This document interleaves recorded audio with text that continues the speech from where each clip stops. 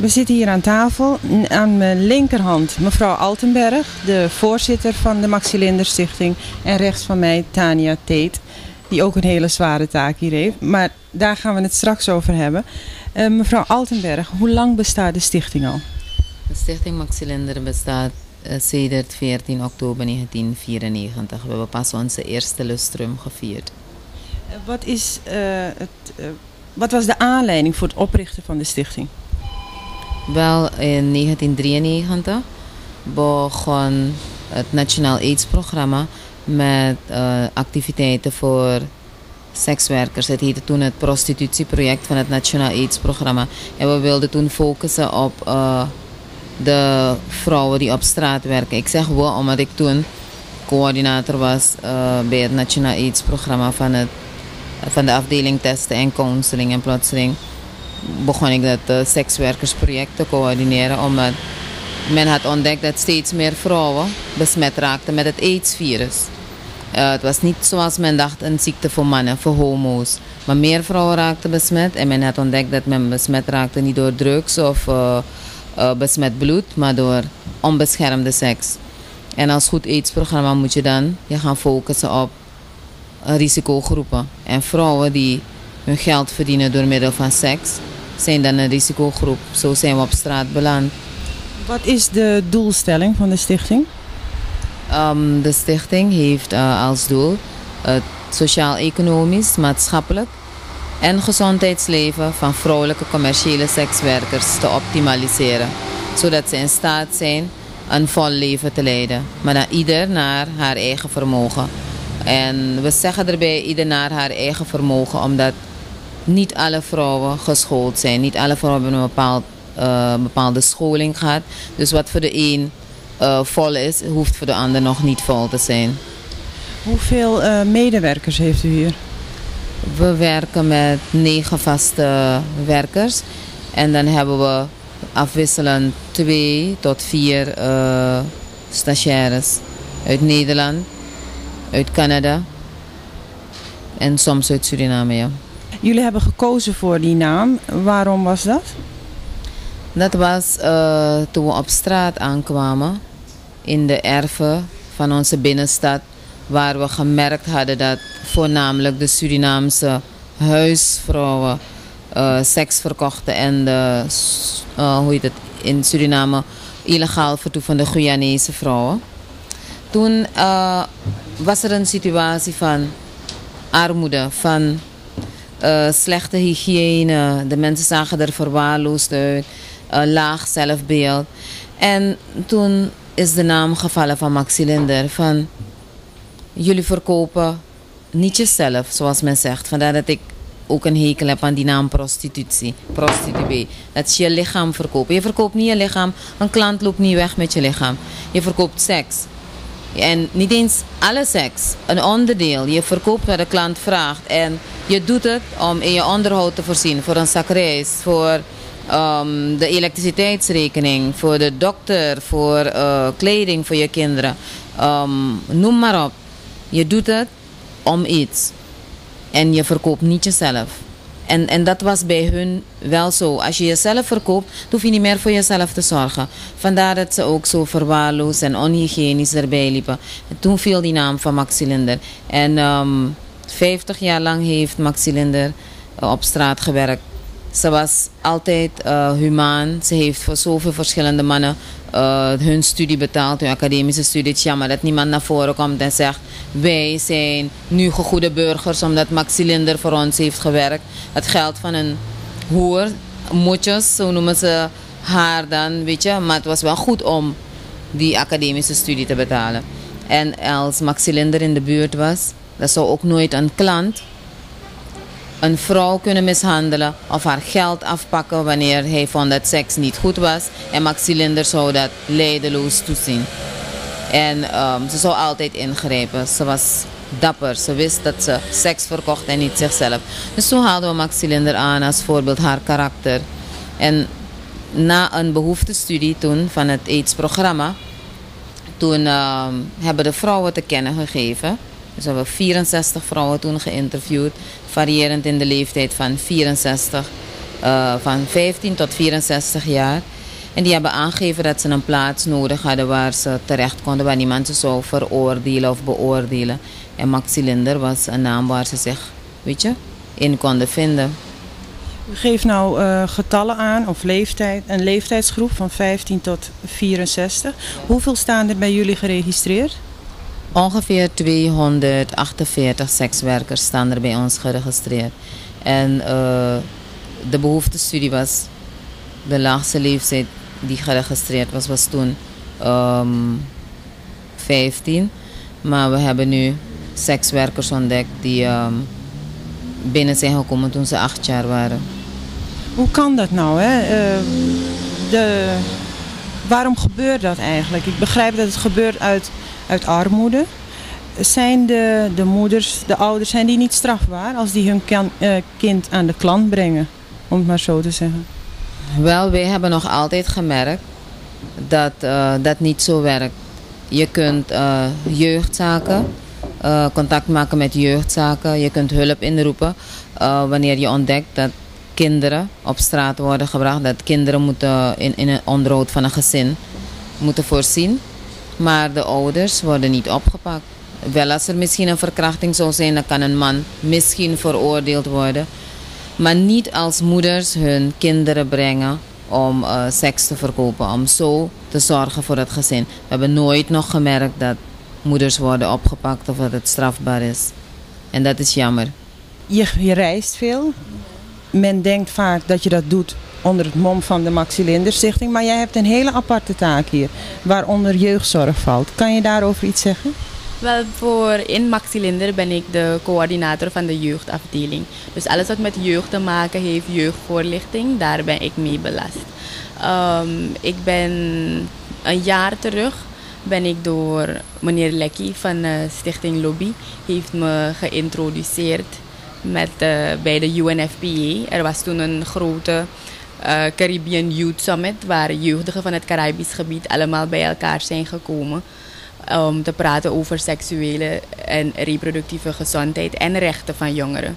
En ik ben toen facilitator geweest uh, in Barbados. En toen ben ik uh, uh, met bepaalde mensen in contact gekomen. Daar ben ik ook uitgeroepen tot jeugdambassadeur van Suriname naar het Caribisch gebied, dus in het Caribisch gebied.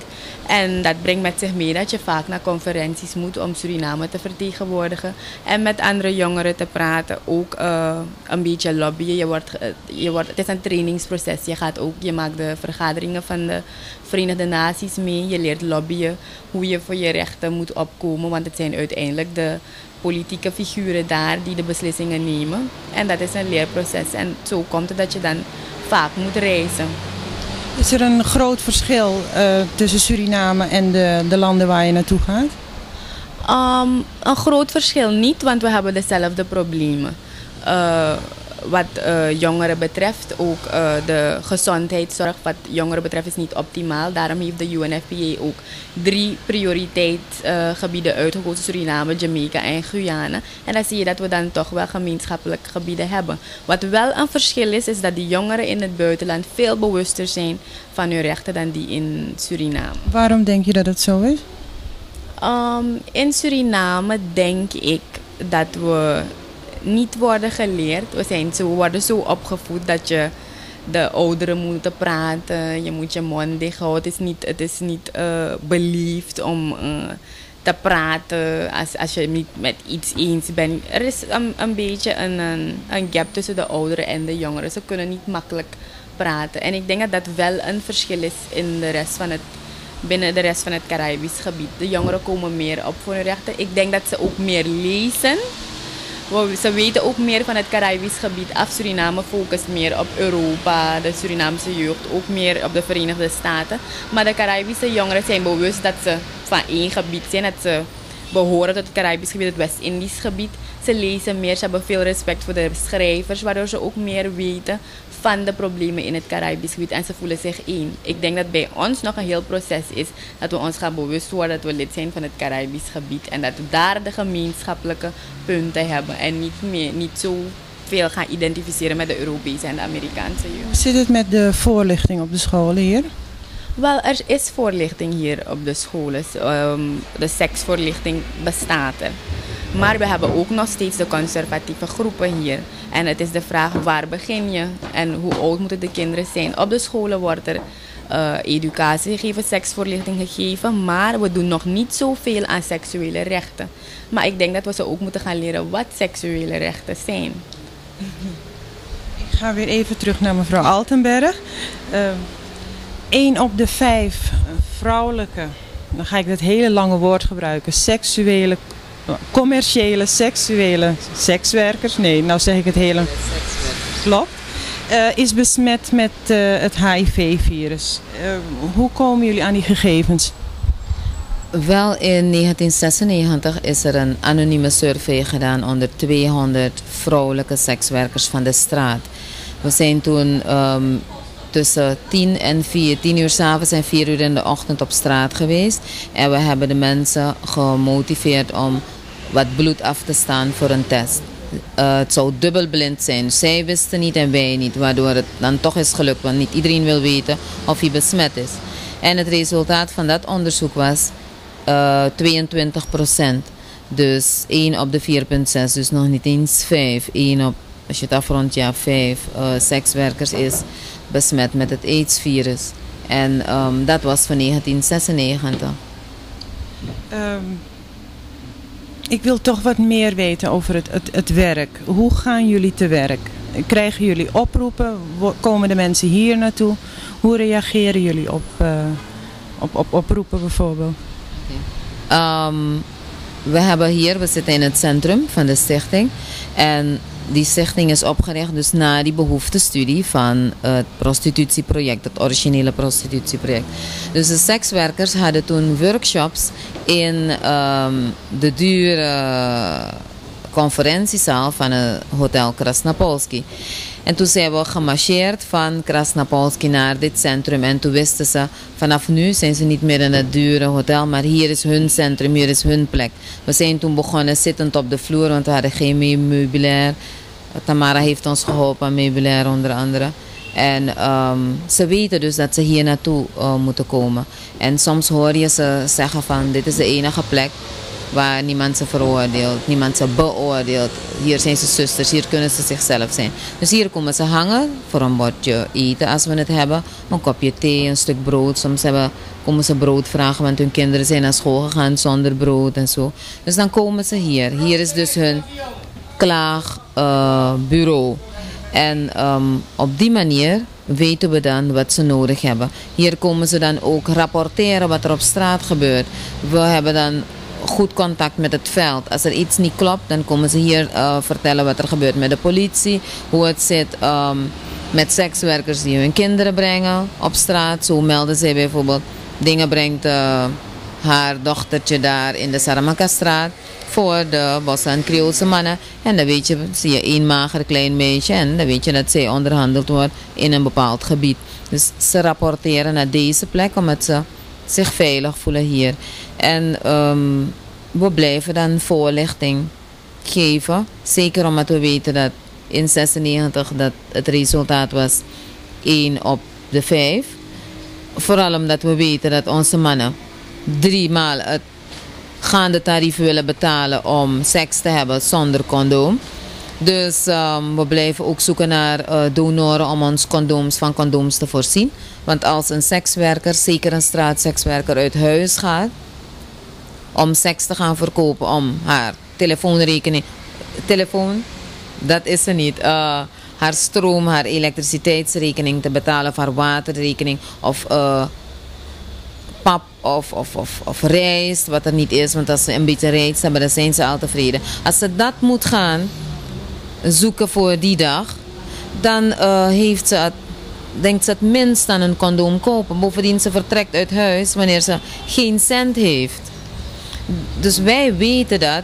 En als er een klant op straat is die markt vraagt geen condoom, meer geld, dan is ze niet echt gemotiveerd om het condoom te gebruiken. Als ze nu weet, omdat ze voorlichtingscampagnes uh, van ons heeft bijgewoond, de workshops, de educatieve workshops, dat ze een condoom moet gebruiken om zichzelf te verzorgen. Want als je, hoe langer je gezond blijft, hoe langer je voor je gezin kunt zorgen. En ze wil verantwoordelijk zijn, dan weet ze dat er een plek is waar ze condooms kan krijgen. Maar ehm, ik, heb, ik heb daar begrip voor, maar ik heb toch ook begrip voor de gedachte van ja, ik kan wel een condoom gebruiken, maar als ik drie maal kan vangen uh, zonder condoom, dan doe ik het dus zonder condoom. Uh, op die manier steven we af op een uh, nationale gezondheidsramp. Hoe denken jullie dat tegen te gaan? Wel, we zijn nu begonnen met een Suri Protect groep. Een Suri Protect groep is een groep die bestaat uit de dienst dermatologie, BOG, uh, gezondheidsvoorlichting van BOG en uh, Maxilinder. En onze slogan is Protect While You Fest. Dus het is begonnen tijdens de Studievesten activiteiten. Dus bescherm je ook als je feest viert. We willen in met Studie Protect het condoomgebruik en condoomverkoop stimuleren. Maar we moeten gaan brainstormen hoe we eigenlijk de klanten, dus de mannen, echt gaan uh, benaderen. Want er is niet echt een programma gericht op de klanten, op het uh, seksueel gedrag van mannen. En het, het baart je echt zorgen, want een aantal sekswerkers zijn op titel getest. Die weten dat ze besmet zijn en ze zien er goed uit. En ze komen klagen, ze zeggen, mevrouw Altenberg, Miwan gebruik een condoom. Maar aman srevetaki, saide, look is mooi.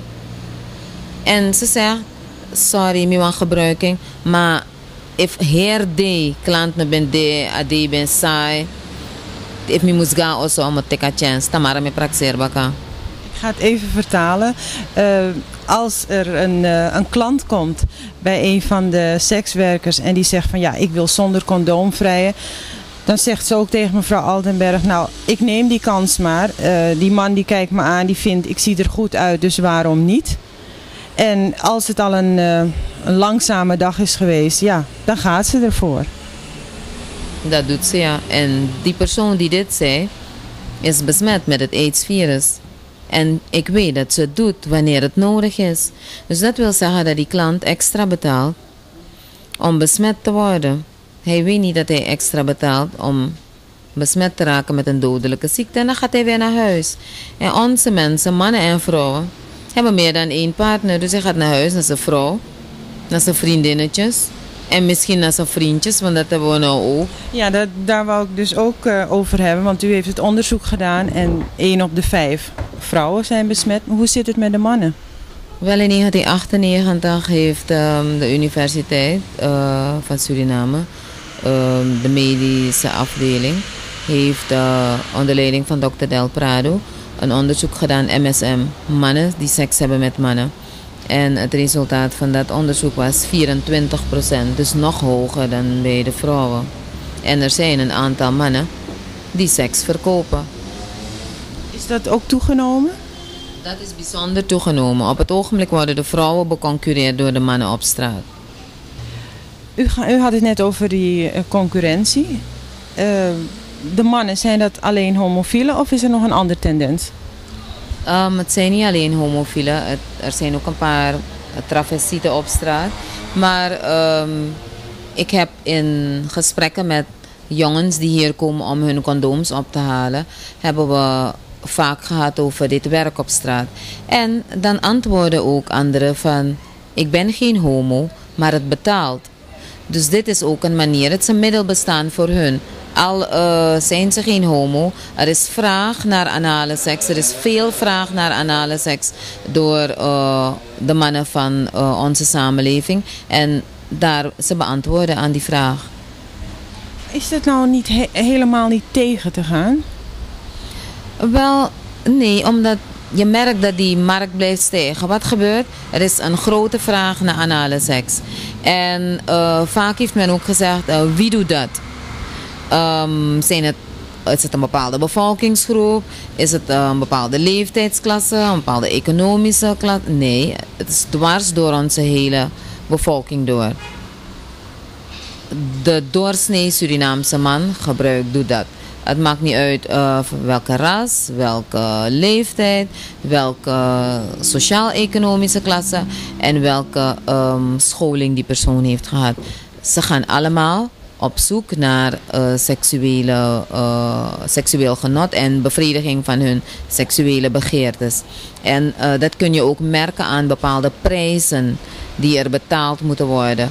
Dan weet je ook dat misschien in de straten, de armere wijken, waar een, een short time, zoals ze dat noemen, 15 minuten seks, 2000, 3000 is. Maar in andere wijken dan is hij 15.000, andere 30.000. En afhankelijk van wat voor seks ze willen, stijgt dan die prijs. En wie kan dat betalen? Dus um, je merkt gewoon dat ook de vrouwen klagen hierover. Omdat ze gedwongen worden, of ze het nou willen of niet, dan komen ze vragen naar uh, speciaal condooms voor anale seks. Omdat ze weten, dat wil de krant. Al, al, al kunnen ze het niet, sommigen zeggen echt dat het heel pijnlijk is en, en dat ze er niet tegen kunnen. Maar als ze bijvoorbeeld ook hun, hun kook moeten kopen, omdat een heleboel sekswerkers verslaafd zijn, dat gebruiken ze als Zeggen ze om sterk te zijn, om alle, alle vieze klanten aan te kunnen.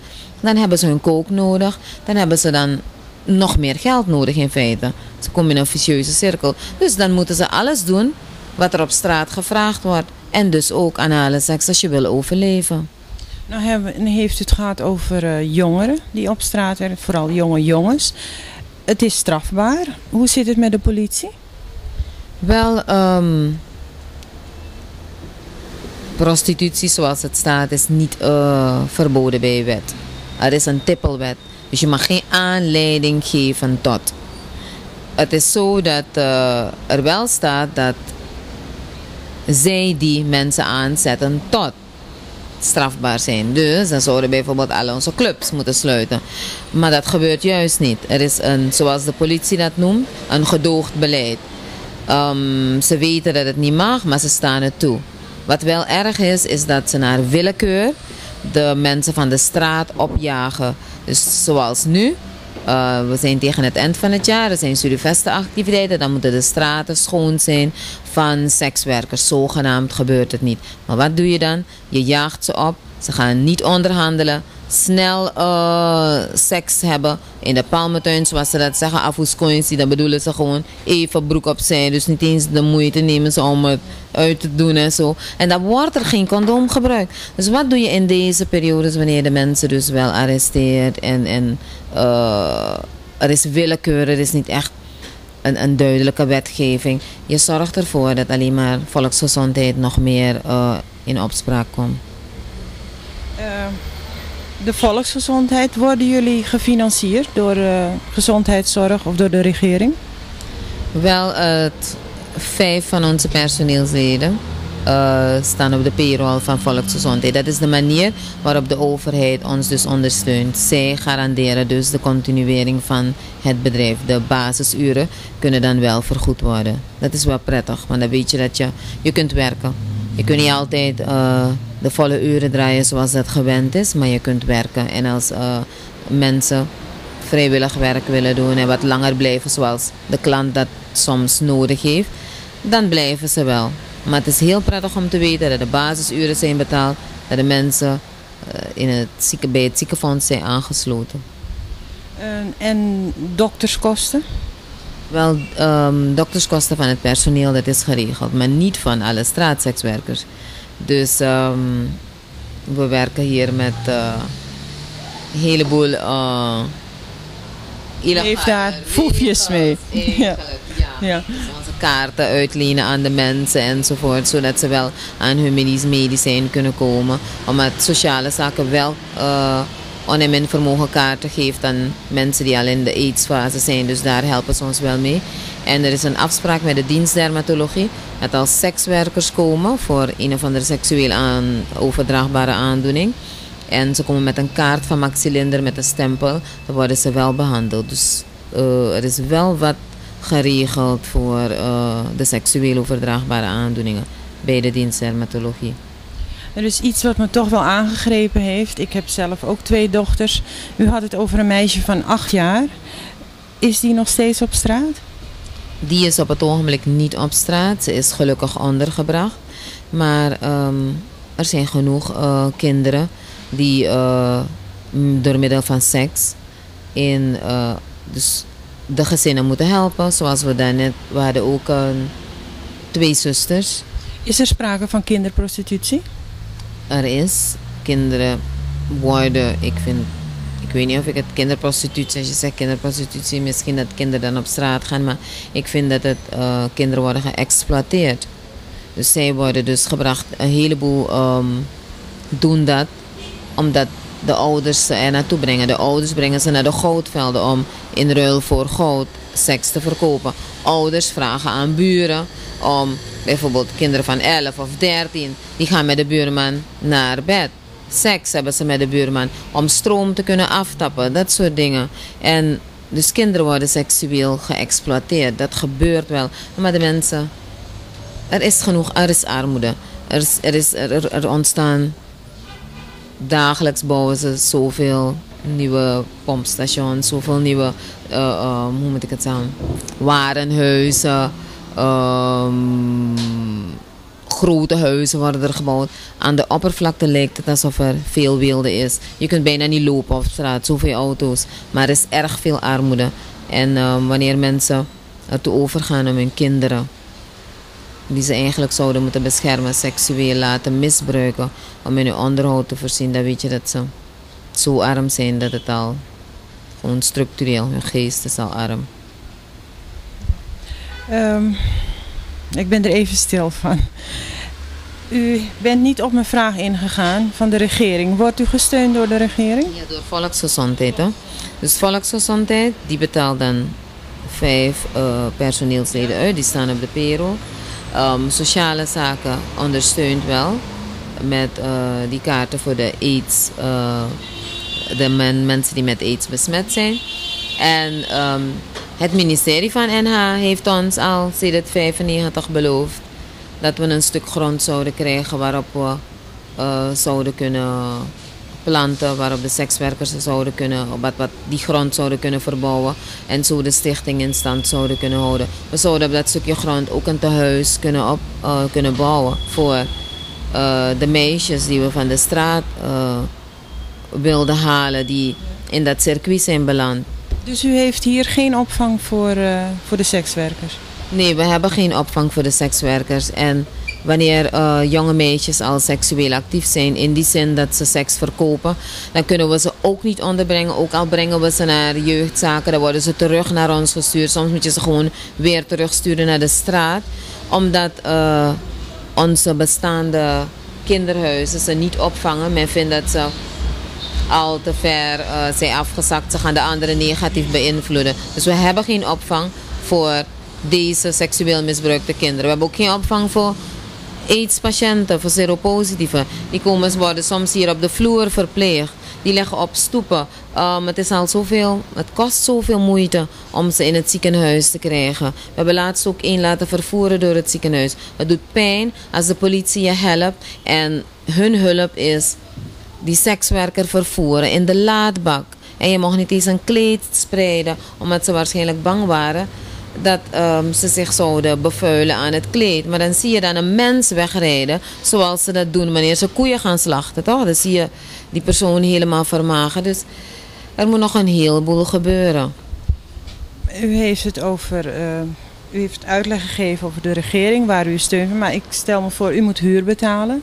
Jawel. Er zijn een aantal vrijwilligers hier. Uh, behalve condooms die dan gratis verstrekt worden, zijn er andere middelen die jullie nodig hebben. Hoe komen jullie aan die fondsen?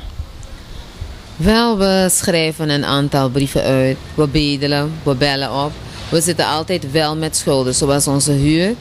Um, die is bijzonder hoog voor ons. Hij is uh, sinds vorig jaar oktober geworden 350 US dollars. Dat is bijzonder um, moeilijk om op te hoesten. Zeker voor ons. We hebben altijd een huurachterstand. En onze huisbaas wordt echt niet uh, vrolijker daarom. Uh, bovendien, uh, als de mensen binnenkomen en ze vragen: Mijn gasbom is leeg. Heeft u wat geld? Als je geld hebt en je geeft ze, dan zijn ze vrolijk en ze gaan weg.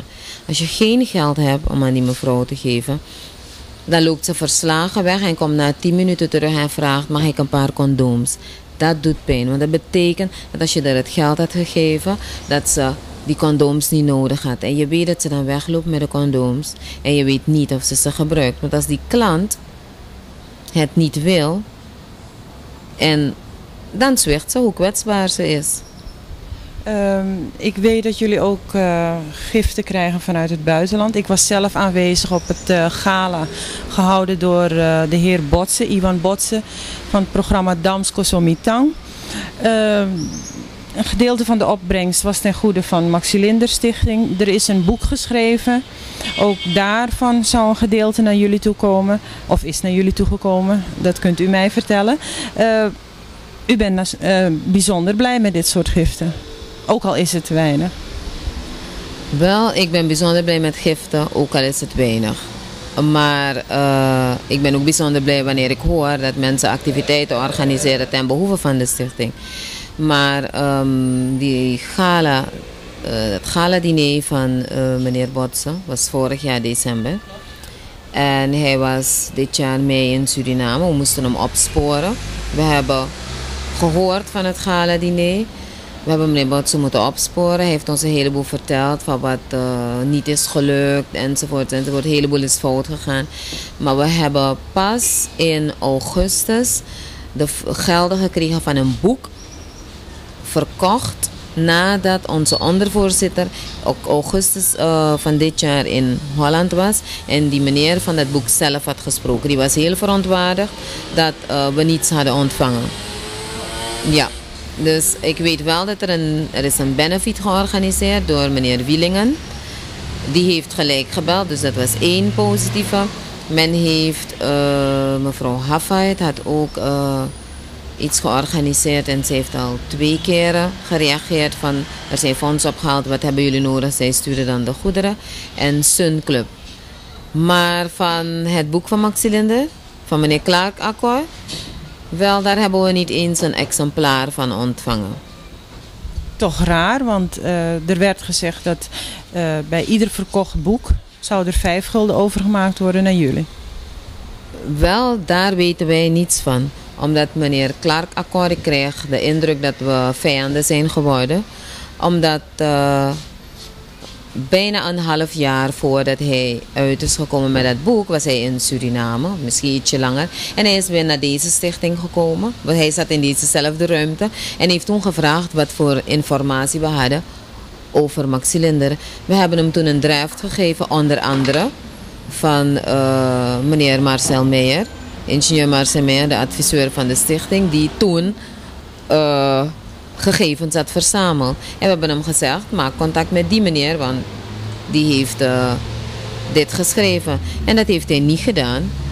In februari, toen zijn boek zou uitkomen en meneer Meijer mij had gevraagd van of ik afspraken had gemaakt met meneer Akkoord aangaande weet je, de opbrengst van het boek. En ik daaromtrent contact met hem maakte. Toen was hij bijzonder boos, want hij zei hij heeft niets overgenomen van meneer Meijer. Alle informatie van meneer Meijer is op straat. En vanaf die dag heeft hij nooit meer contact gemaakt met de stichting. Hij heeft ook niet eens meer het uh, beloofde exemplaar aan ons gegeven. Ja, ik ben uh, hierover uh, eigenlijk heel erg verrast. Ik heb meneer Akkoord in een interview gesproken. Hij heeft ook uitgelegd wat er allemaal zou gebeuren. Terug in Nederland uh, gaan we hierop door. En uh, ik vraag toch aan meneer Akkoord om duidelijkheid. Naar Tania toe. Uh, we stevenen af op het jaar 2000, het millennium. Wat is voor jullie het werkprogramma? Wel, wat we zeer zeker gaan doen is werken aan onze fondsen. Want de stichting moet blijven voortbestaan en we hebben nu wel een tekort aan fondsen. Vooral wat mevrouw Altenberg al zei, onze huur dat we, hebben, we lopen achter met de huur. We moeten echt gaan lobbyen. Wat we graag zouden willen is dat iemand of een overheidsinstantie zou ook kunnen, maar dat iemand ons zou adopteren. Dat meerdere mensen uit het bedrijfsleven of ook van buiten ons als het ware zouden kunnen adopteren en ons echt uh, zouden kunnen helpen. Want de huur is vreselijk hoog voor ons. En we, dit gebouw is ideaal. Het staat in de stad. Het is makkelijk bereikbaar voor onze doelgroep. Dus we willen hem wel behouden. Um, je had het, sorry, ik onderbreek je even. Je hebt het over uh, instellingen vanuit het, uh, hoe noem je dat? Bedrijf, het bedrijfsleven. Hoe zit het met de kerken? Wel, we hebben niet echt uh, veel steun. We zijn, laat me ook zeggen dat we niet echt naar de kerken zijn toegestapt om, uh, om steun te vragen. Maar hoe staan ze tegenover jullie initiatief? We horen wel vaak dat we prostitutie promoten. Dat hebben we wel gehoord. Men heeft ons nooit gebeld en face-to-face -face gezegd van jullie promoten dat. Maar je merkt soms ook wel dat als je je kerk binnenstapt en men je handjes schudt zondag en zegt gezegende zondag, zuster, dat ook niet meer altijd gebeurt. Dus ik denk wel dat, op, uh, dat men op een of andere manier ons toch wel kwalijk neemt. Maar laat me wel zeggen dat ons, dat ons nooit direct naar ons, dat men nooit direct naar ons is toegestapt en zegt van ik vind het verkeerd wat je Maar dat noem ik uh, hypocrisie, want uh, het is het oudste beroep. Uh, Maria Magdalena, hoe verklaren ze dat? Nou, we hebben nooit een confrontatie met ze gehad over commerciële seks. Jezus heeft haar ook niet veroordeeld. Maar dat is ook het standpunt van Maxi Linde, dat uh, je niemand mag oordelen. En dat we er zijn, niet dat we het promoten, maar prostitutie, uh, commerciële seks bestaat er. En we moet, iemand moet wel voor de rechten opkomen van deze vrouwen. Dus um, doelstelling is eigenlijk, het belangrijkste is zoveel mogelijk financiële middelen binnenhalen. Zodat jullie al jullie doelen kunnen verwezenlijken. Uh, het is heel zwaar werk. Ik heb uh, een voorgesprek met jullie gehad. Mevrouw Altenberg was erg mild in haar uitleg. Uh, in het voorgesprek is ze ingegaan op wat details. Ik kan wel aan de kijkers vertellen dat het echt, het ging door merg en been. als je deze verhalen hoort. En, en ja, je hebt toch een voorliefde voor het land en voor de mensen. En dan denk je, ja, je zit in Nederland, wat heb je het goed? Daar is er prostitutie, want zo noemen we het wel in Nederland. Maar wat hebben ze het eigenlijk daar goed? Uh, ze hebben de gezondheidszorg, ze gaan, ik geloof ik, één keer in de week gaan ze naar uh, de dokter toe. Ze worden gecheckt, uh, medicijnen, nou alles is er gewoon. En hier moeten jullie met die weinige middelen die jullie hebben, moeten jullie die mensen proberen van de straat te houden. Wat eigenlijk in mijn ogen vechten tegen de bierkaaiers. Op het moment. Maar ik heb met jullie beiden gesproken. Uh, de rest van de mensen zijn ook allemaal zeer gemotiveerd. Er is hoop. Ja, er is hoop. Zeker. Ja. Uh, vier mensen hebben één uh, naaicursus afgemaakt. En soms in een interview heeft ook wel een een interviewer gezegd, wat doen jullie? Jullie leren sekswerkers naaien. Ik zeg, het is een naaicursus en ze hebben het afgemaakt en ze willen hun eigen atelier opzetten. Dus daarmee zijn we wel bezig. Dat heeft Bilans uit Nederland wel gefinancierd. Dus we zijn bezig met inkomsten genereren activiteiten voor zij die dat aangeven. Maar als iemand bewust ervoor heeft gekozen, kan ik niet zeggen van ik wil dat je er vanaf gaat. Want ik kan je geen driemaals geven. Dus um, er is hoop. Ik hoop met jullie mee. Um, hele zware kant, hele beladen kant, maar ook hoogtepunten. Ja, er zijn natuurlijk ook hoogtepunten en die doen ons allemaal goed in ons werk. Uh, het is bijvoorbeeld een sociale werker van Maxi Linder gelukt om een met aids besmette sekswerker uit de Dominicaanse Republiek terug te besturen naar huis. Het is er gelukt dat de clubeigenaren de ticket betalen voor deze dame naar huis. Dat is een hoogtepunt voor ons. Die, dat meisje, over dat acht jaar, achtjarige meisje waarover je eerder in het interview sprak, dat is ons ook gelukt om er in een tehuis te krijgen. En ze wordt voor gezorgd. Ze is op school en het gaat goed met haar. Het is ook prachtig wanneer je ziet dat sekswerkers getraind worden en goede ze zijn goede hulp, ze werken keihard mee met Maxi Linder. En dat is prachtig als je weet dat ze in het begin er waren. Ze kwamen de workshops bezoeken en dat ze nu getraind zijn en mee kunnen helpen in het werk. De overheidsinstanties maken ook gebruik van hun hulpverlening. En ze zijn gewoon experts in hun werk. Dat is voor ons echt, dat zijn hoogtepunten voor ons. Nou, het is uh, prachtig en toch ook weer heel, heel triest. Uh, we gaan ervan uit dat het allemaal nog beter met jullie gaat. Dat jullie uh, kunnen bereiken wat jullie willen bereiken. Maar dat kan natuurlijk niet zonder hulp. Uh, we zitten op het moment in Suriname. Maar we weten ook dat de Surinamers in Nederland, de Surinamers in hun eigen land een warm hart toedragen. En een kleine gift. En dan gaat het niet om geld, want daar doen we niet aan. Maar uh, ik weet dat bijvoorbeeld de stichting SAS, uh, Stop Armoede Suriname, die stuurt pakketten hier naartoe. Die hebben ook uh, wel eens dingen naar jullie toegestuurd. Via dat soort stichtingen zouden we pakketjes kunnen maken. En ik heb het al eerder gezegd, ik heb een oproep gedaan via RASO, de radio. Daar is heel goed op gereageerd. Maar ik geef nu het woord aan mevrouw Altenberg. En ik weet zeker dat zij ook nog een verzoek heeft. Wel, ik um, bedank iedereen die de stichting en um, de doelgroep van de stichting wil helpen. We hebben van alles nodig. Um, wanneer je denkt, dit niet, dan wel. Dus ook kapotte lakens, omdat er mensen zijn die, wanneer ze in hun aidsfase zijn, in plaats van uh, gewone, gewoon vochters. Sommige mensen hebben, hoe moet ik het zeggen, een fistel. Een fistel is een pijpsweer van de anus naar de vagina. En als ze soms diarree hebben en ze zitten op een stoel, dan lekt het door. Dus ook als je denkt van deze kapotte baddoek, dat wil ik weggooien, dat zullen ze niet nodig hebben. Dat hebben we ook nodig, want we moeten ze helpen om dat te stoppen. Maandverband, um, want ze moeten baden. Um, ze hebben direct waars nodig. Van alles en nog wat. Uh, hoe moet ik het zeggen? Heb je vitamine uh, tabletten gekocht en je wil ze niet meer. Maar ze zijn niet vervallen, stuur ze. Want hun uh, voedingstoestand is ook niet je van het. We hebben gewoon alles nodig en zeker jullie gebeden. Mevrouw Altenberg, dank u wel. We gaan straks nog even door het gebouw heen. Uh, ik wil toch nog even nadruk leggen op de vervaldatum.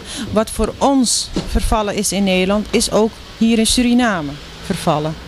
Oude spullen hebben we hier niet nodig. Tanja, jou nog een laatste woord? Wel, ik zou willen, mevrouw Altenberg heeft al bijna alles gezegd. Maar ik zou willen zeggen aan de mensen ook in Holland dat we echt hulp nodig hebben. En dat uh, men echt niet moet denken aan sekswerkers als mensen van ze konden echt wel iets beters gezocht hebben. Want ze hebben, de situatie hier is slecht. De mensen zijn echt op straat omdat ze werken voor een bordje eten. En we hebben alle steun nodig. En dat men er ook aan moet denken dat we niet als we deze mensen helpen, helpen we ook uh, als we helpen dat ze gezond blijven. Daarom dan denk ik ook aan de condooms, want we hebben heel hard condooms nodig. Dat je dan ook helpt aan de ontwikkeling van je land. Want als je mensen gezond zijn, dan uh, kunnen ze ook hard werken en om een bijdrage te leveren aan de ontwikkeling van je land. De Surinamers op zo'n manier help je ook je land ontwikkelen. Op afstand. En wat is mooier om mee te werken aan de ontwikkeling van je eigen land. Dat je ooit weer terug mag keren. Ik ben hier drie weken geweest. Het is zon. Uh, alles wat we in Nederland niet hebben. Waar we juist wel op zoek zijn. Want ik hoor dat het in Nederland min 4 is. Uh, er is nog een heleboel te doen hier. Maar met uw hulp komen we er zeker. Boven in een van de kamers wordt er een cursus, een educatieve cursus gegeven. Een van de deelnemers daarvan is Titia. Titia, welkom. Welkom.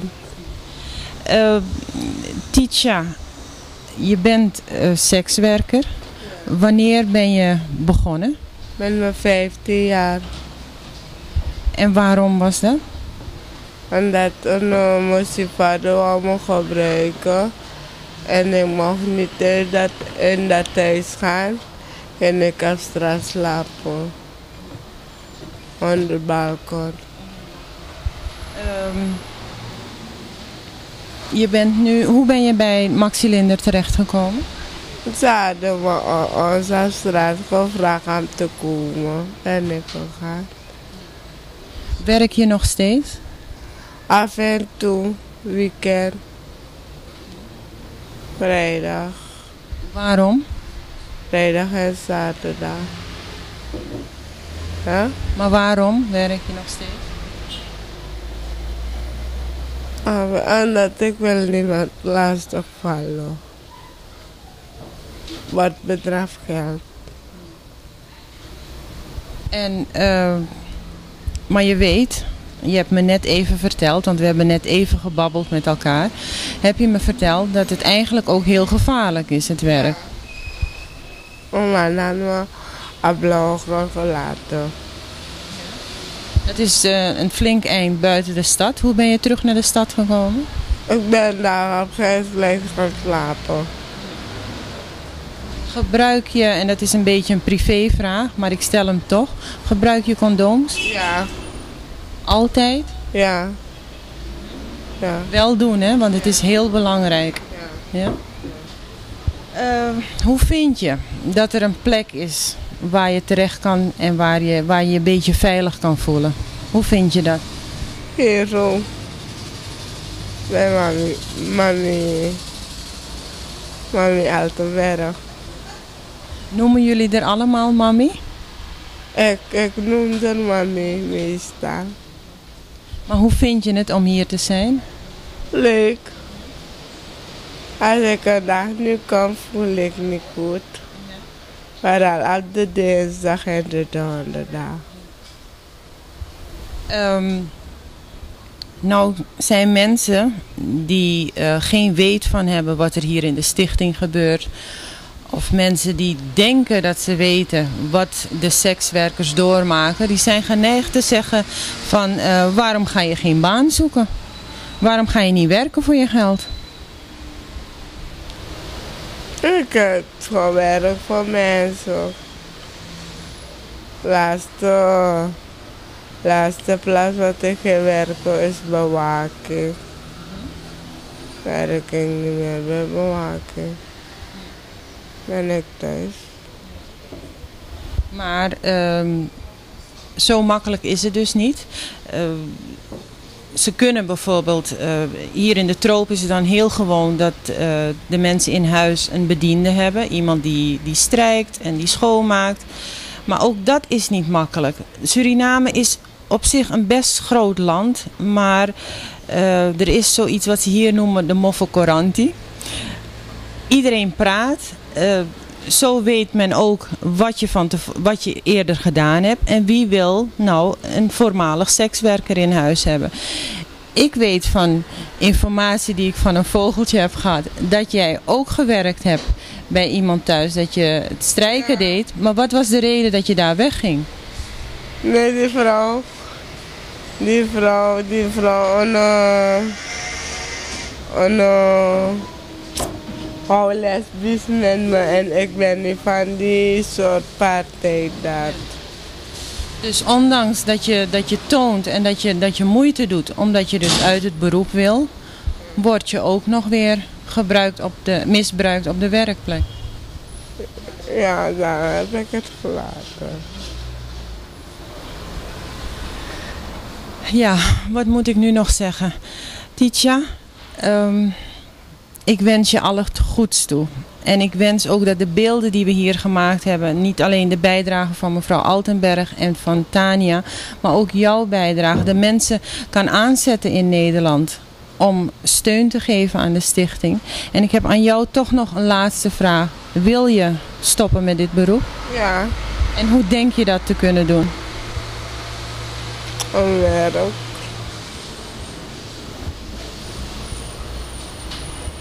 Wat voor werk zou je willen doen? Bewaken. Toch wel bewaking. Net zei je dat je het eng vond en die wil het toch wel doen. Ja, bewaken. Titia,